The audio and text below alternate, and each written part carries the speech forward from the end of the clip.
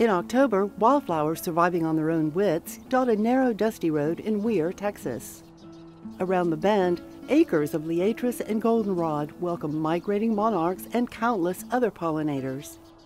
The scene changes dramatically come spring when waves of bluebonnets and Indian paintbrush rival the magical Oz. But this field of wonder is all native Texan. To raise their children, Kasie and Andrew Brazell bought 15 acres in this tiny town northeast of Georgetown.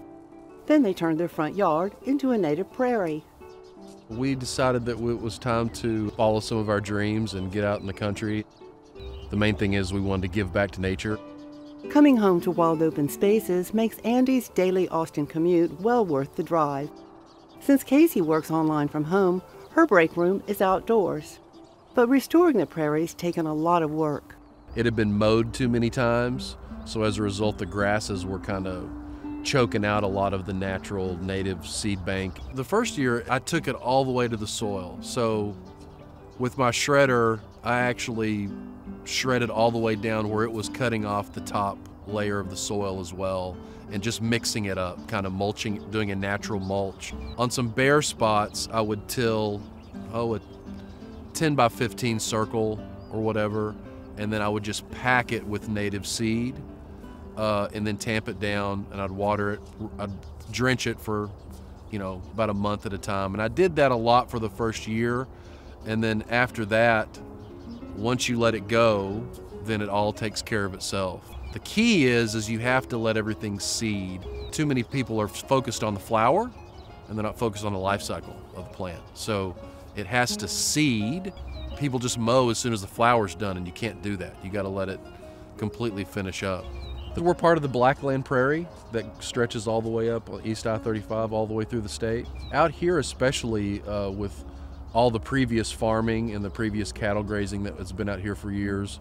The manure and composting is already native and natural because of the grasses, and so as a result, it's a real thick, rich, clay based soil. It retains water fairly well, but because of the seed bank and the root system of all the existing plants, it doesn't get all crusty or cracked. It's really fertile, so all I've had to do was mow it once a year uh, twice a year within a one month time frame down to the soil. I start out as soon as the gay feathers stop blooming and they go to seed and the uh, prairie grass heads out. Then I mow it down to four inches uh, in late fall. And then about three, four weeks later, I come back in and then I shred it to the ground again. And that gives a, nat- a natural mulch and a natural uh, a turning, per se and then that's it. So if you look at the seasons, the blue bonnets are sprouting right now. And so by the time the spring and fall comes, all the native wildflowers come up. The grass is just now starting to turn green and move up. And so as a result, it's truly nature. I mean, I, I don't direct it by any means. So it, it, it the, the flowers come up and then the grasses come up slowly. And as a result, that's where it camouflages. So it's really amazing. Nothing really stays dead out here for longer than a week before it's either taken over or hidden by some other plant. Gaillardia and horsemint take over as early spring plants go to seed. Prairie verbena last until frost. In fall, goldenrod and liatris pop out. Rainfall spurs germination of the 35 or so species already in the seed bank. To start new seeds, Andy nurtures them with a long water hose until they're up and running. It's a labor intensive process, but it fills in the gaps nicely and it helps promote the spread of the natives and the diversity of the prairie. To maintain that diversity means hands on weeding. My whole family's involved my wife and myself and my kids. As soon as they're able to walk and see a plant that I can show, here, pull that, and we literally go through the entire front uh, eight acres or so uh, and we pull them we hand pull a lot of stuff with the wildflowers. You reduce the seed bank and so as a result in just a few short years i've gotten a lot of the invasives, invasives out. But again by starting a clean slate with the fresh mowed every year you get competition and so all the natives that you want, if you can get them thick enough, they'll push out the invasives or they won't let them take over. Aside from the big November mowdown, Andy forges a family trail.